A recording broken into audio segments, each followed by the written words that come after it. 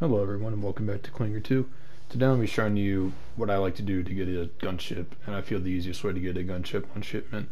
Um, starting out here, the class we're going to start out with is I'd like to pick the origin for this. You can really choose any gun you want. Um, you're going to really want that tactical impaler on there for extra range basically. Um, everything else, it is recoil stability. That's all I put it on there for. You really want the 25 drum round mag. That is a necessity for this so you won't stop shooting pretty much. Um, that's a really nice thing to do on shipment. You have to be kind of close with the origin, but it's the shipment, so everyone's pretty close in the first place. Um, the RPG is a nice attachment or gun, just literally because you can get an easy two kills with it. Um, you want kill chain, you want hardline, third perk doesn't matter a whole lot. Definitely want kill chain and hardline due to the fact that your kill streaks can actually chain into the next kill streaks, which is very nice. Um, the frags and everything like that don't really matter a whole lot. They help out in some cases, but not like from what I've seen a whole lot. Um, you want a precision airstrike, you want a sentry gun, and of course the gunship. Um, yeah, I'll show you why you want those later. And uh, yeah, you definitely want the uh, supply box. It's it's helpful in some cases, but sometimes it just it's only there if you actually run out of ammo in your RPG bullets, since those are just easy kills.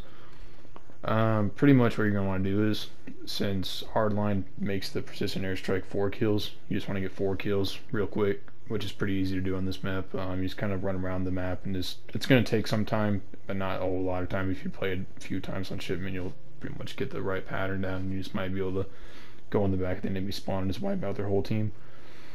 Um, so what you're going to do is like I did right there, um, you put down the sentry turret outside your little crate, and I know it's a little bit camping, but mean, it's the easiest way you're going to get this, so sacrifice have to be made somehow. And the what's going to happen is is if you use the precision airstrike first and you don't have the sentry gun, which does happen a lot to me a lot of times in this, where you only get four kills, you'll just use the um, you'll basically use the precision airstrike while you're in the crate and then put it on the crate so then it shoots over the crate so you won't die from it and it gets you pretty much an easy two kills most of the time and put down the sentry turret and it does the rest of the work for you.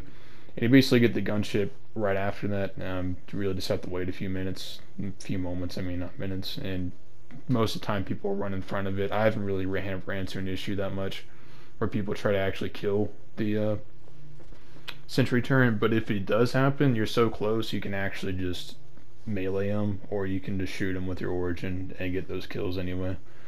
So, uh, yeah, that's pretty much how you get the gunship easy.